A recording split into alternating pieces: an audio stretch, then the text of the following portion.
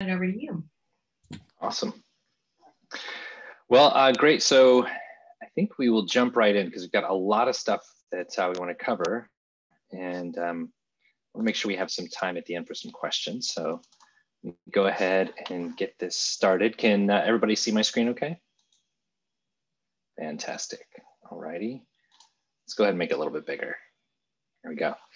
Okay, so today uh, we want to talk a little bit about Acquia CMS, what it is, uh, why it's here, um, and probably most importantly throughout all of this, uh, what this means for you and how that can be useful. So let's dive right in. So uh, what I want to do is kind of break this up into a few sections. So first, kind of like an overview, like um, why did we create this? What's it for? What problems are we trying to solve? Um, and then I want to dig a little bit more into uh, what's what actually is in in Acquia CMS. What is there? How's it composed? Uh, what are the things that you're going to get?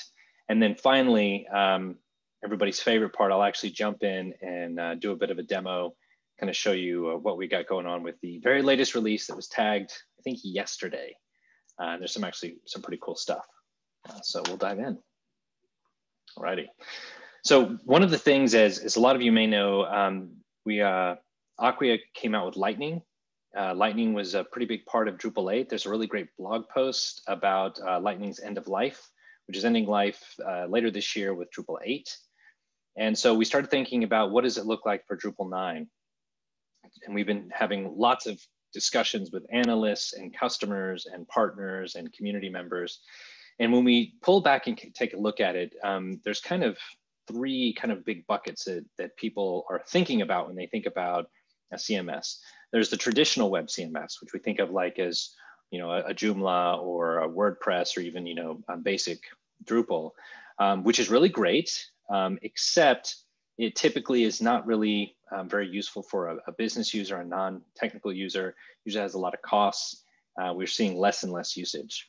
Now, what we are seeing the rise in um, especially uh, moving forward, is uh, the consumer CMS. So that would be something like a Wix or a Squarespace, super, super fast, really focused on that site builder, very easy to use, but often not really secure, um, has limited feature sets and your ability to actually customize and kind of get what you want out of it is, is limited as well. So the ability to scale can be challenging. Um, we've also been hearing a lot about headless CMSs in the past, um, you know, five, six years from a developer tech perspective, really great, right? Because I've got a ton of control and I can do whatever I want and I can put things where I want. Problem is, again, we start to see that um, for a non-developer, we start to have problems and issues. So when we're trying to think of what does the ideal solution look like, we really need to make sure that we kind of can get as many that, you know, that overlapping diagram, we can get as many of those things as possible. So it needs to be super flexible security is always going to be top of mind and every day it becomes more and more important. It's got to be easy to use, especially for not even just a traditional Drupal site builder, although that's important, as any of you that saw the Driesnote uh, this year uh, know that we as a community are focusing more on that, but really for the non-developer, for the business user, for the marketing user, for someone who doesn't live in the CMS all day long uh, the ability to have the, the same type of connectivity that you're going to get from a, a, decoupled CMS. And then, you know, especially like Sarah's talking about, how do you take that then, make it secure, put in the guidelines and the guardrails and boundaries, and then scale it out, right? Not even just uh, scaling up to hundreds of thousands or millions and millions of hits, but scale it out to hundreds and hundreds of sites and manage that in a sane way.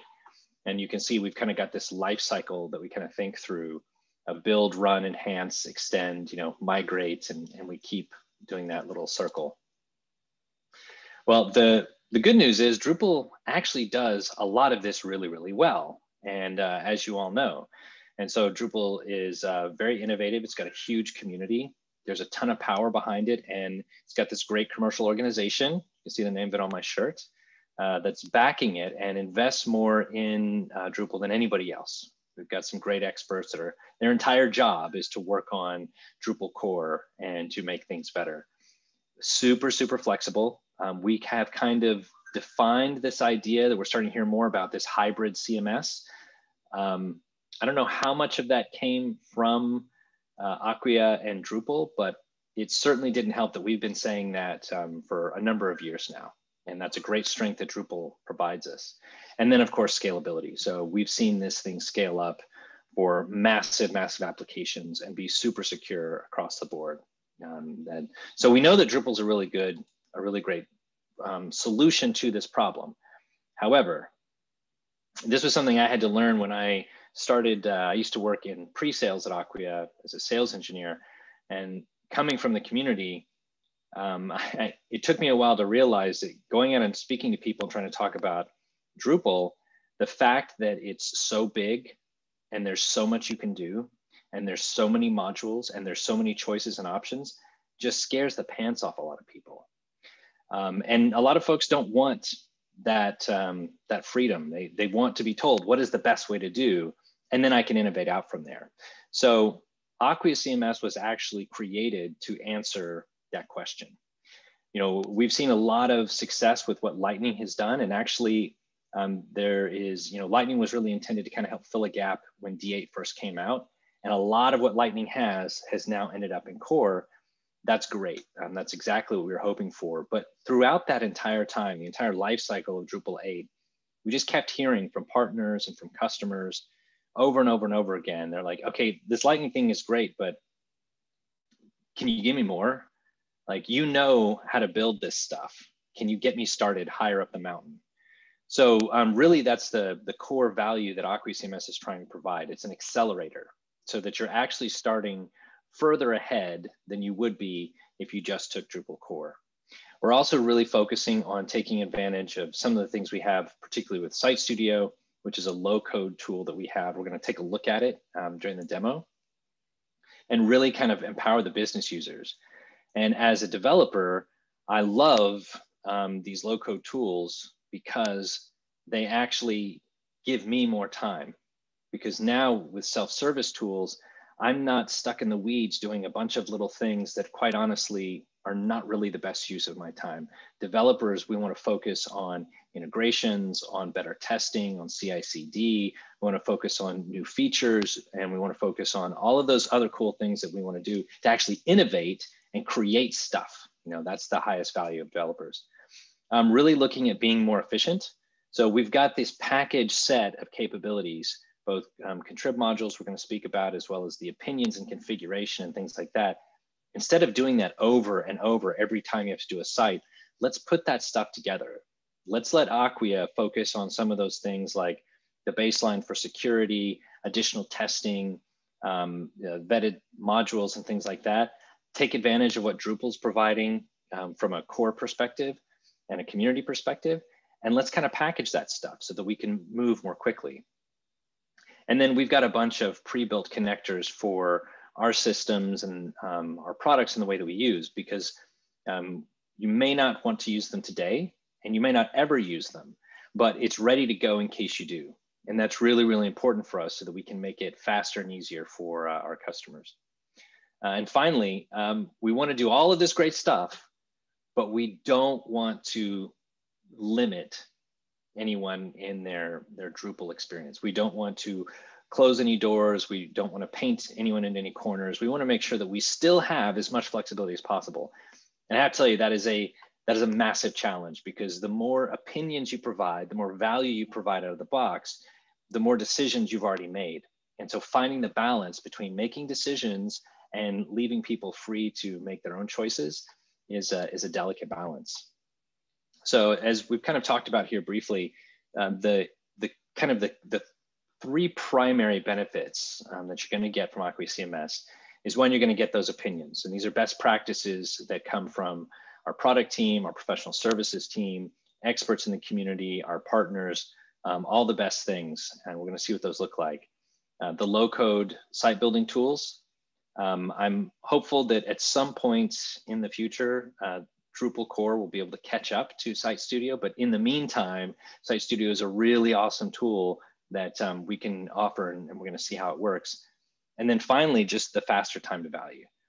Uh, the longer it takes to get there, the higher the cost, the less time you have to innovate. And to be quite honest, um, from a community perspective, the, um, the harder it is sometimes to sell internally using Drupal for a solution. So if we can get you there faster, then it's going to make it a lot more attractive than somebody going off and going rogue and doing like a Wix or a Squarespace or um, WordPress or something like that. Um, when we talk about the low code site building, we're going to talk a little bit about the content model we have, but also the fact that you have the ability to really do everything at the theme level from within the UI itself. So that's CSS, that's your templates, that's building out the components that are going to be used. And the really great thing about all of that is that you can do this in a, the traditional kind of site builder way. You can do this without having to deploy code.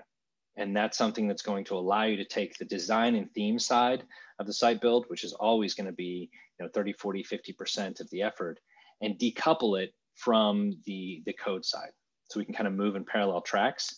And you're no longer going to have to be stuck with trying to make a decision about, well, yes, we could, we've made that change and that was a really simple thing that we did, but you're still going to have to wait two weeks to see it because we got a deployment cycle and I'm not going to break our deployment process just because you want the block on the left side versus the right side, right?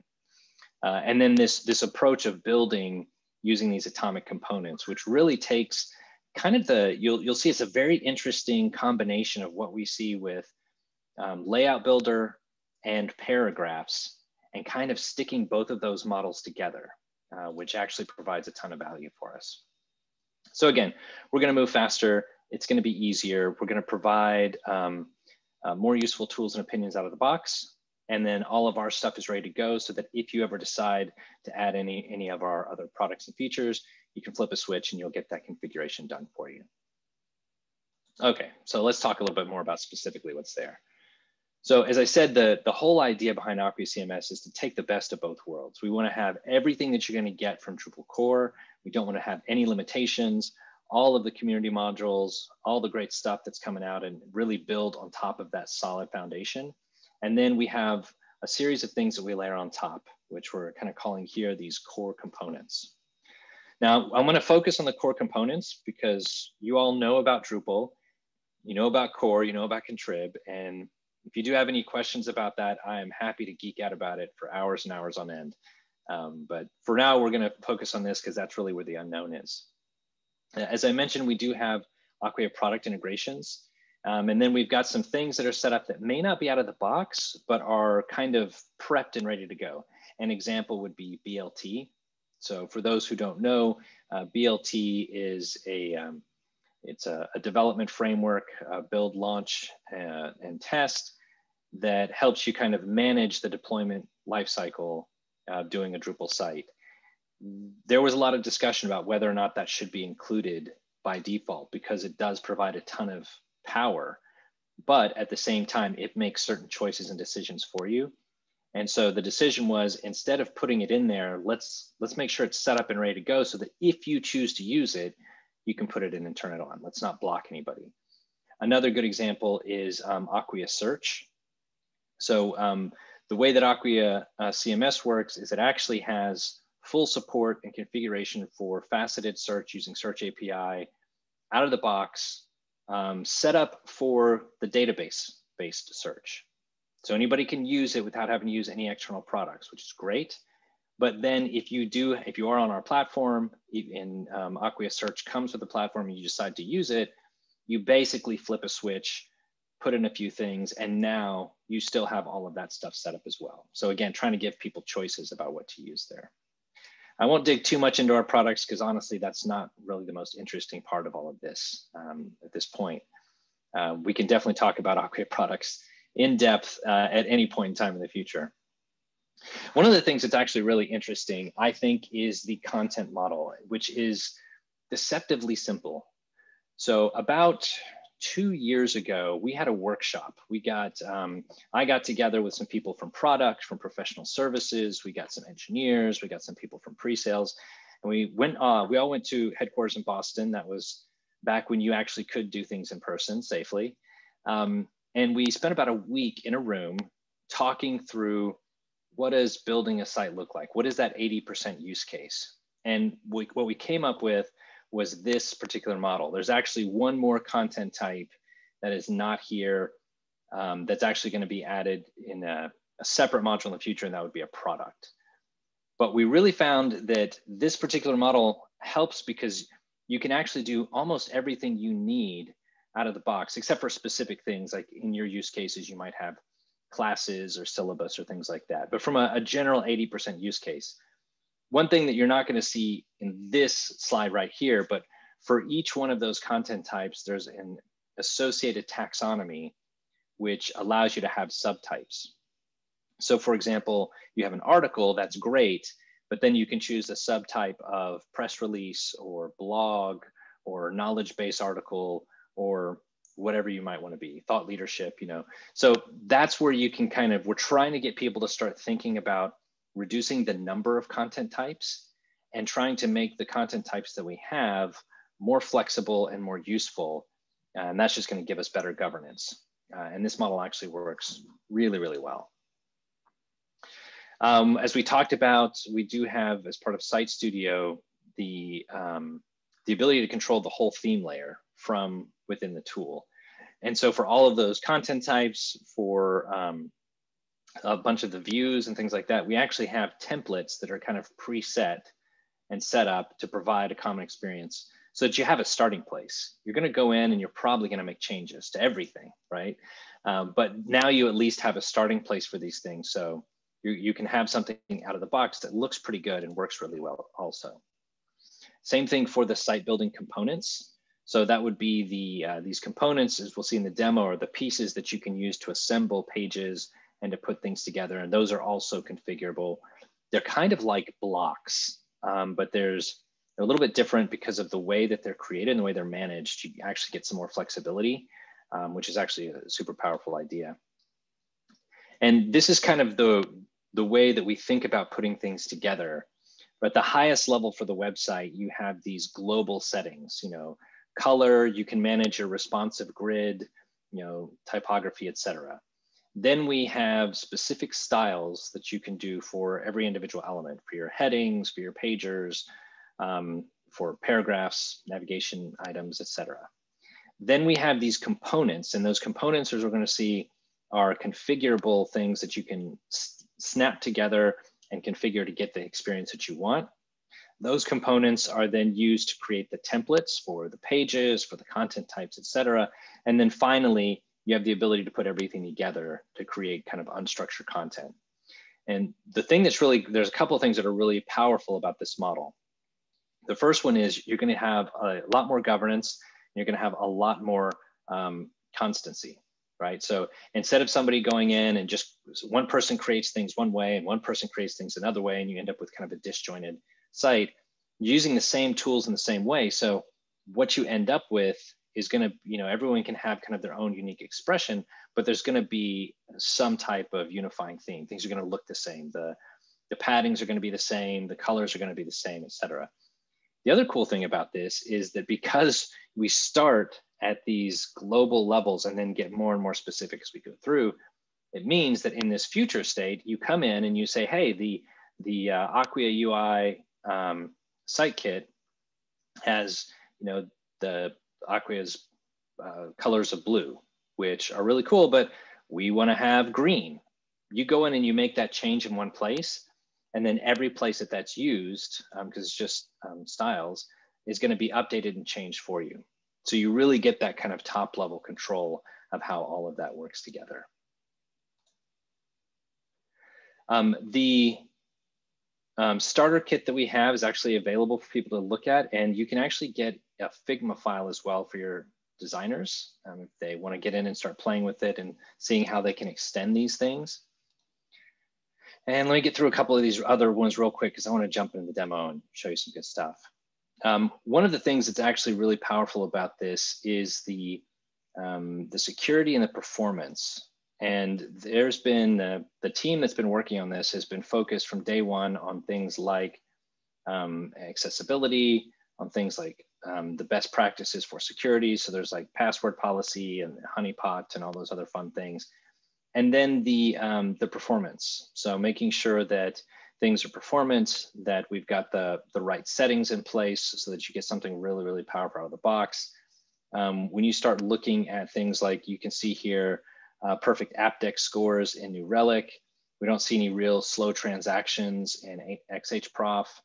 Um, um, you don't have any slow queries, and this is without Memcache, right?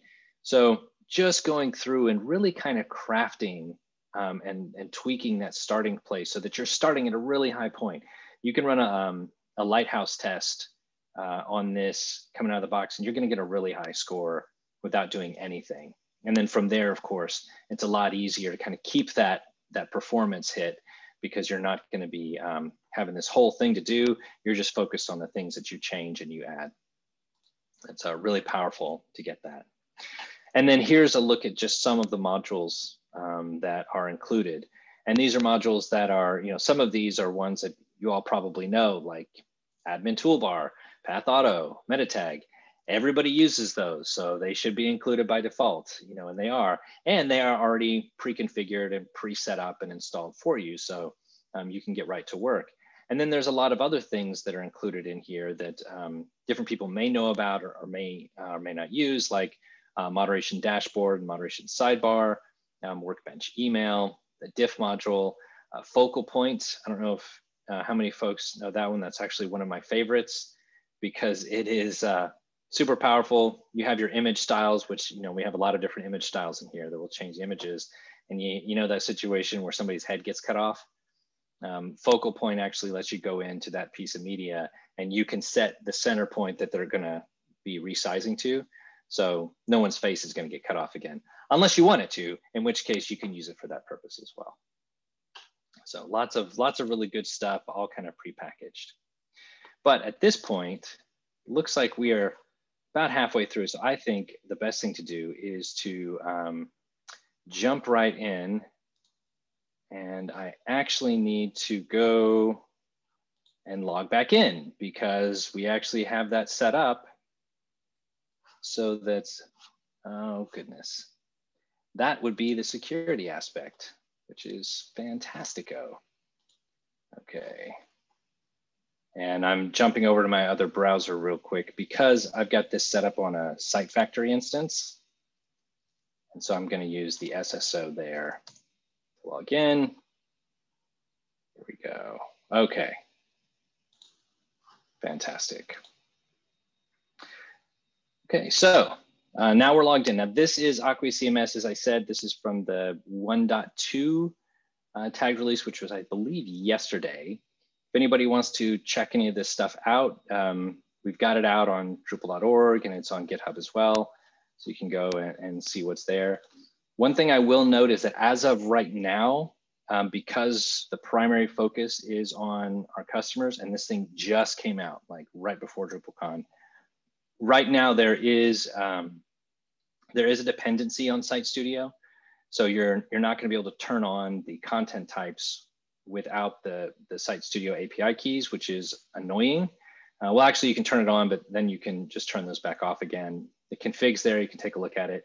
Um, that stuff's actually being repackaged as we speak. And I believe another month or two, uh, those are actually gonna be rolled out as um, separate submodules. So actually you'll be able to pull them into potentially into existing um, projects without having to take the whole ball of wax. So just, uh, just an FYI on that when you go to play with it. Um, but uh, so this is just a quick little page that I put together. And um, let's take a look at this and kind of see how this works. So we'll go in and uh, this is the Site Studio page builder. And it's great because you can use it from the edit screen, but you can also use it from the front end, kind of like layout builder. And so once we're in here, you can actually kind of see how this stuff works. You can see that we've we've actually got all of these little pieces that are put together. There we go, my pre-heading. And I can take these things, that's my entire row, but I'll just take this particular card and I'll move it over here. And actually, I think it's just going to resize all and remove those around for me. Okay, there we go. And you can see we have a drop zone so that we can put more things in here if we choose. Um, and then we've got uh, tabs here. But the way that this works is we can actually go in, and as I mentioned, this is kind of a combination between Layout Builder and Paragraphs. So we can do things like I could go in and add, um, I can choose the, the number of columns I want, or I can just go and add a preset layout. So we'll do a four column layout here. It's building up and my Zoom is slowing me down. And then we can go in and take any of the preset components and we can take them from the standpoint of um, existing content. So let's, uh, let's drop in some content here. Lovely. And then we can also put in specific blocks. And let's go ahead and edit this component. And we will see um, how this works and where some of these options come in. Now, the thing to keep in mind with all of this is that this is all configurable also through the UI. So these options that I have are um, things that I can also go in and change. So I, you know, I can change the color, the border, the height. I can also change the options that are here and how they're applied. And we'll take a look at that in one minute. Cool, so now I've, I've got my content that's pulled in. And actually what I wanna do is let's just go ahead and duplicate this. And Zoom makes my internet so slow. Okay. And we want to put this in place. Come on, there we go. And then we'll see how we can actually change um, this piece of content here. And we'll change the actual view mode that's being used. And just to be clear, I've not made any modifications to any of this at this point. This is all just what comes out of the box today. And we will see that this will start to change over time. So let's go ahead and change the background color on that one, as well as the content um, view mode that's being used. There we go. And let's just put in one other thing. We'll just do some basic things. So we'll put a heading in here. We'll drop in some text. There we go. And um, maybe a button. That would be like a link. There we go. So we can quickly assemble this stuff and put things together to do all the things we want to do.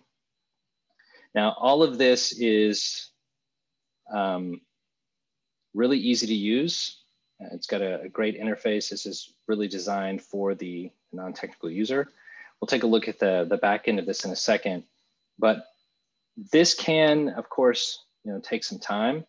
So there's another concept that we have in Site Studio, which is in um, CMS, that is super, super powerful. And it's this concept of a helper.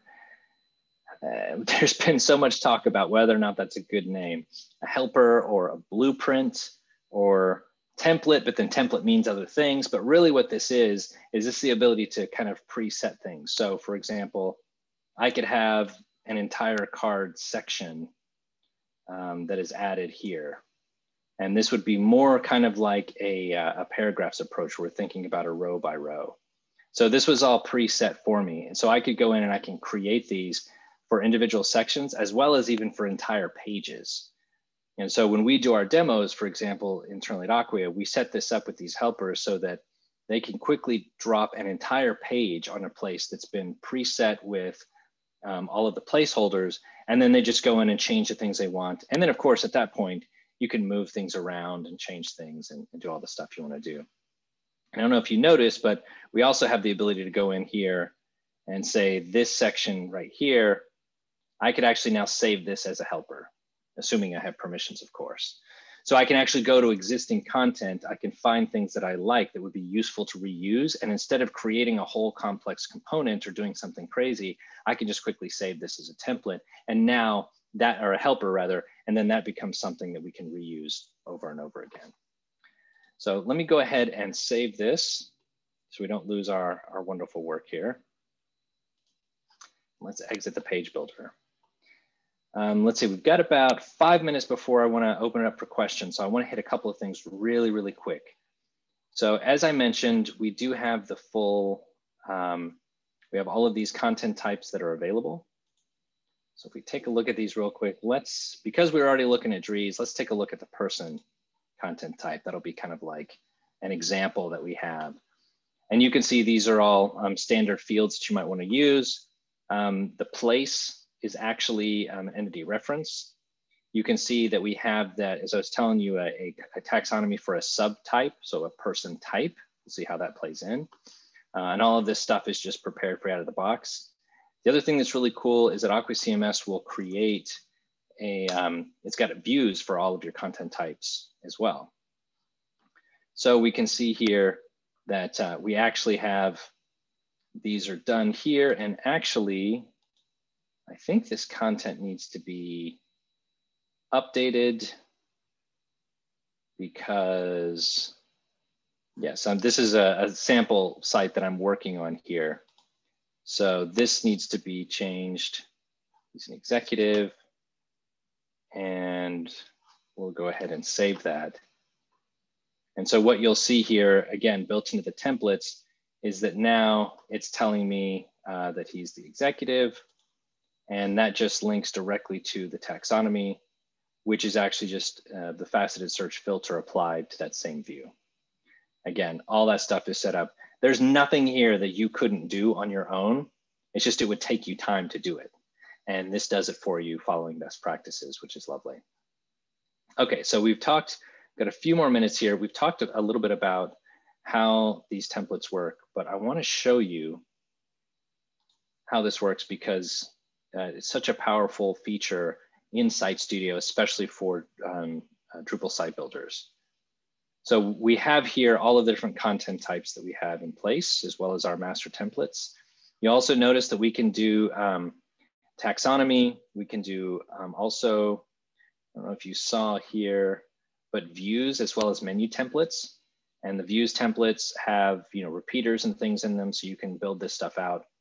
But if we take a look at that, um, that card view mode that we saw for Dries,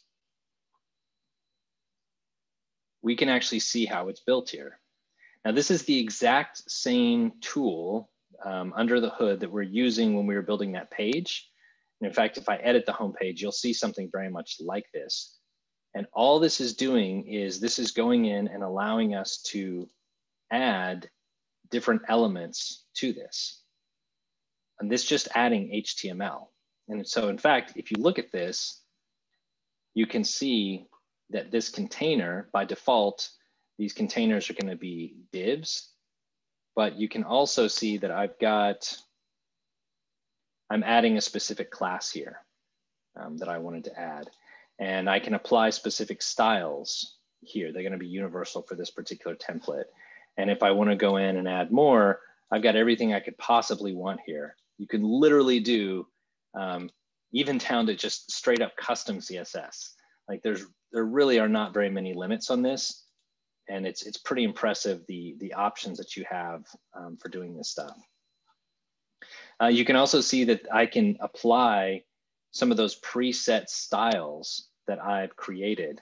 So for example, this tag style, excuse me, we're actually gonna see where that applies if I open up the, a media text? I think it is on the media. Let me see, might be this one. Ah, yes, this is it. So you can see this is actually just nested um, because this is the HTML that's being generated under the hood.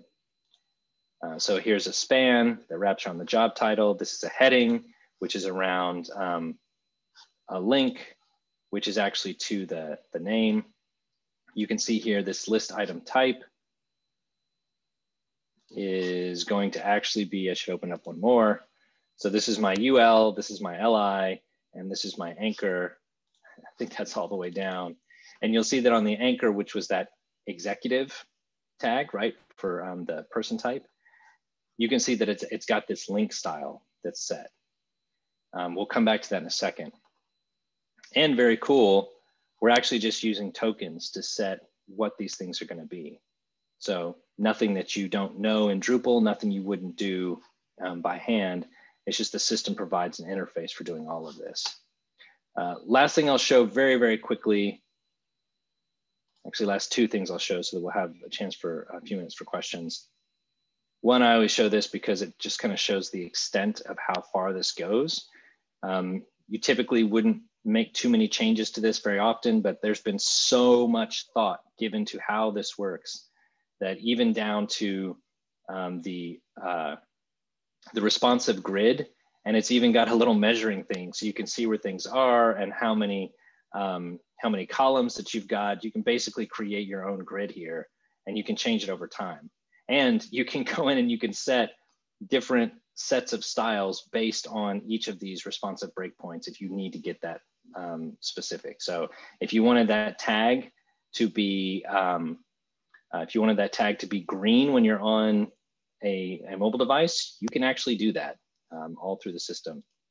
So last thing we'll look at here, and I could go on for another couple hours getting into all the details, is uh, we'll take a look here at these styles. We'll take a look at this, the tag, and you can see this is the actual class that's going to be generated. And when we edit this, um, again, it's just a really, really great tool for a site builder. I mean, developer too. I'm a developer, but it's so much easier for me to do a theme this way and so much faster. I can not only um, change the items that are taking place here, but I can also get the, that preview to see what they're gonna look like. So you can see this is what that tag's gonna look like.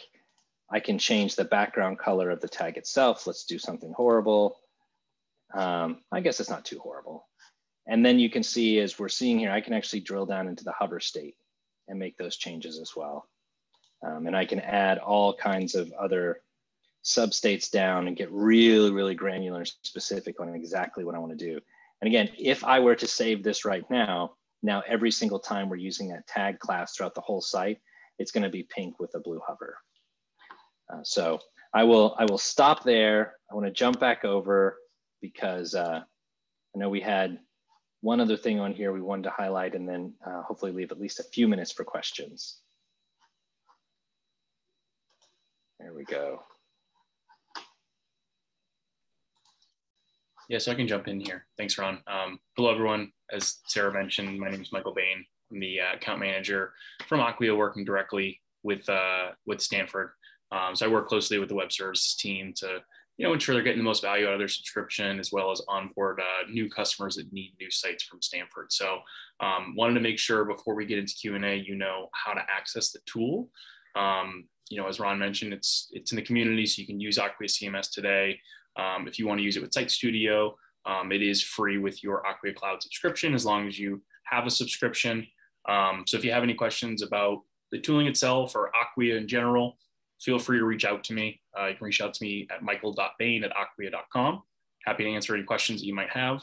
Um, and then additionally for the Stanford folks, um, the web services team has put together a really helpful guide um, to explain how to you know, get your own custom site with Acquia, uh, as well as you know add any tooling that you might have might not have today to your subscription.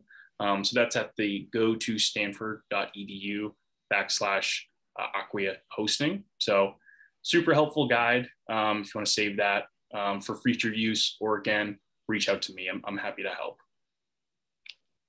And I'll, I'll go ahead and drop my email and the link in the chat um, just so you have it. And then, you know, we can go ahead and get back to Q&A.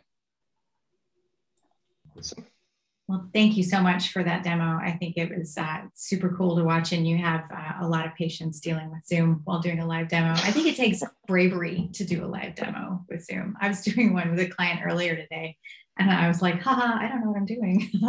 and here I am on Zoom. um, but thank you so much for, for walking us through that. And I want to kick us off um, with the time that we have remaining with the question of um, how your product team works because our, our team has built a fairly similar product for, for Stanford and um, it's a, you know, has fewer power tools built in and uh, so far, at least in terms of being able to really get into the styles and really kind of make it your own. Uh, how does your product team decide what's coming out next? What, what is the next new feature? Um, that's a really good question. So um, basically, we just get the people with the strongest opinions and we throw them in a room with some weapons and we see who survives. Uh, no. Um, Solid choice. Yeah. Well, so there, there are a bunch of different um, teams internally that contribute. So there's uh, primarily an Acquia CMS team itself, run by Michael Sharon. He's the uh, uh, project manager. He actually came from professional services at Acquia, so he's got a long, long history of, of building out sites. And actually, there were quite a few people that um, contributed to the initial build, including um, Adam Honick. He was the guy that um, did Lightning and D8. Um, uh, Mike Madison, who heads up professional services.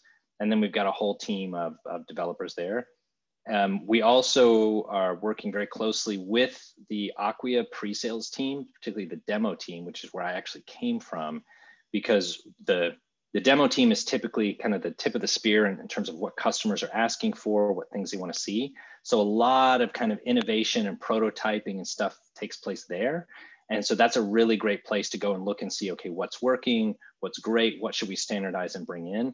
And then outside of that, um, I'm sure very much like you have, uh, we've got an internal ticketing system. So um, our, our, account managers, our technical account managers, professional services people, anyone from across the company can go in and, and make a request.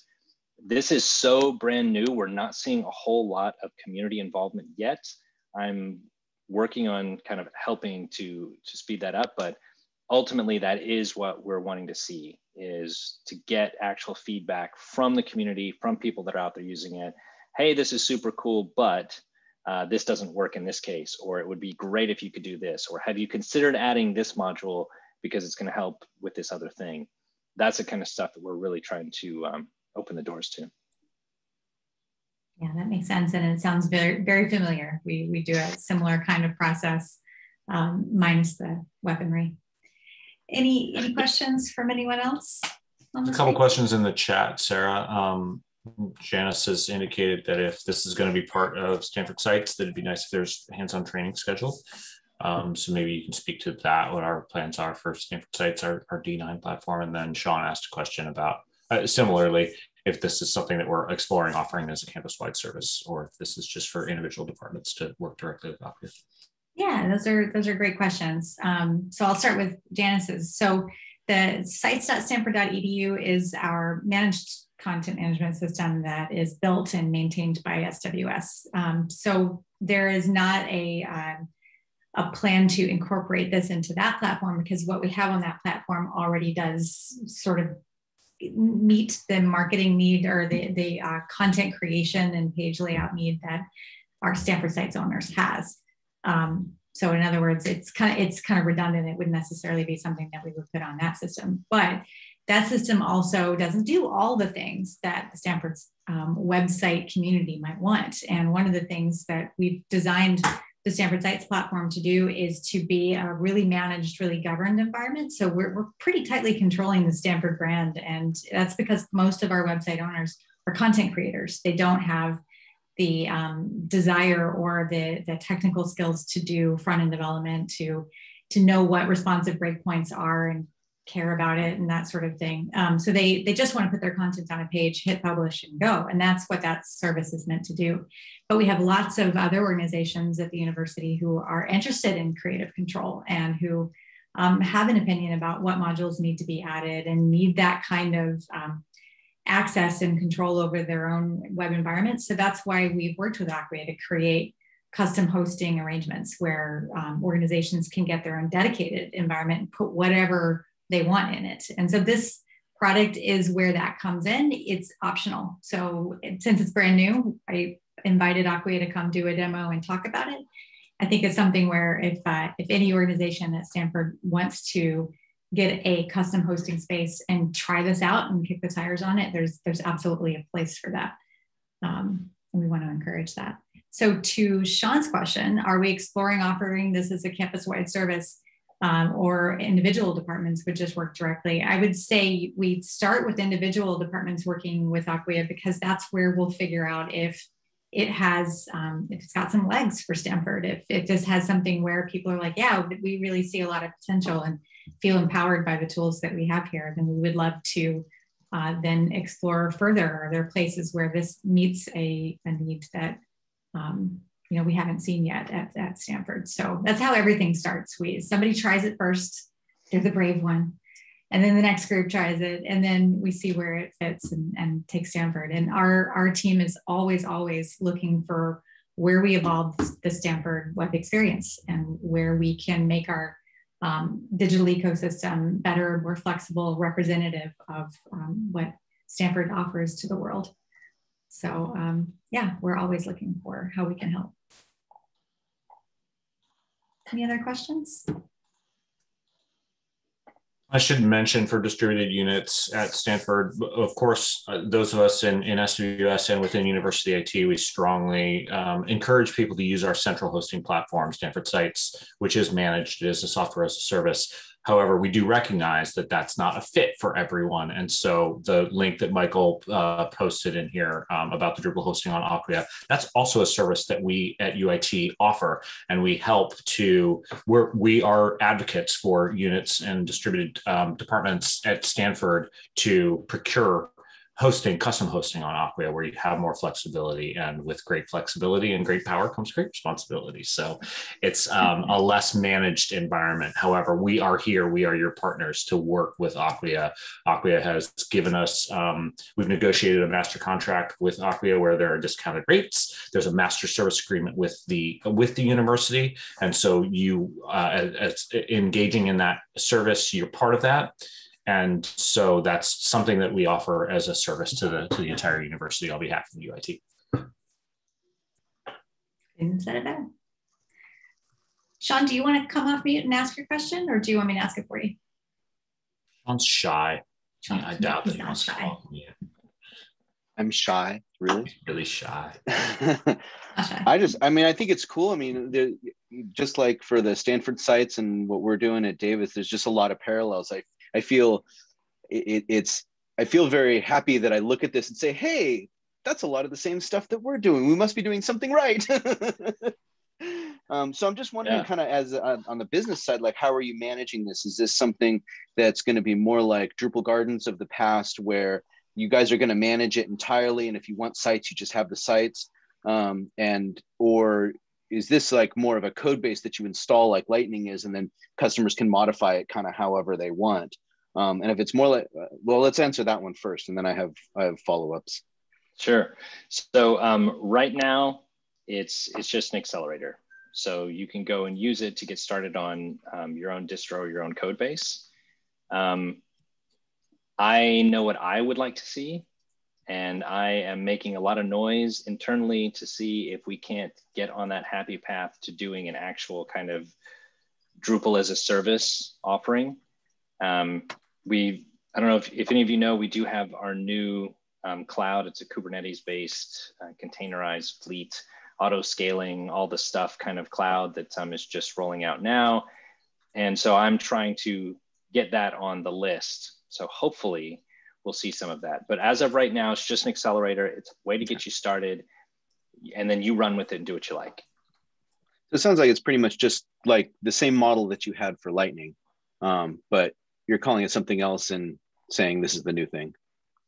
Yes, it's it's a little more. It's it's got a lot more opinions in it than Lightning did. I noticed that. Yeah. Um, which I think is a good thing. I think mm-hmm. it's a good thing. But Lightning was really aimed at trying to accelerate Drupal core um, which it did do, which was great. And this is more about trying to take it to the next level and saying, okay, let's provide something that's going to be more standardized that people can build on top of. Yeah, cool. Well, nice work. I'm going to uh, dissect it very carefully because there's a lot of cool stuff in there. so I'm, I'm going to drop another link in here. One of, I think, one of the best kept secrets um, there's another project called a demo framework. That's what Acquia's demo mm. team uses. That's like what you guys build. Sarah, it's like what y'all build. Um, the currently, the team is currently in the process of looking maybe by next quarter, um, refactoring and rebuilding on top of Acquia CMS. So latest and greatest kind of um, uh, features and approaches and things that we take in our demos are always going to be in there. So a great, great place to kind of look for new ideas and things, modules that are used, play with things. But then also, once we do get that switched over to being on top of Acquia CMS, it's going to be a really great example of how you could potentially do the same. Like take the pieces you want, add in your own stuff, and make your own flavor. Cool stuff. Very cool. All right, you guys, it's 1254. Anybody have any last questions? Going once, going twice. All right. Well, thank you so much to Michael and Ron for joining us. It was really an outstanding demo, and I really appreciate you taking the time uh, to virtually visit California and share. Maybe when we do this next year in person, we can convince you to come out and enjoy campus in person. Twist my arm. Yeah. yeah. Right. that won't take any convincing. My, my socks are getting a little old. I, I need a fresh influx of uh, Acquia socks. So. I'll help you out. Th thanks for having us for sure. And um, I, I can talk about Drupal all day long. So uh, it's a good excuse to get together on a Friday afternoon and share some stuff. Hopefully you guys will find some interesting things there. Absolutely. And hey, hang out at the rest of WebCamp sessions. There's more Drupal coming up, including our, our team is going to be talking about Decanter, which is our uh, design system and pattern library. And we're doing a demo of Stanford sites so you can see uh, what we've done that has some similarities to what you've done. But um, thanks again for sharing and we'll see you guys next time. Thanks everyone. Take care. Bye guys. Bye-bye.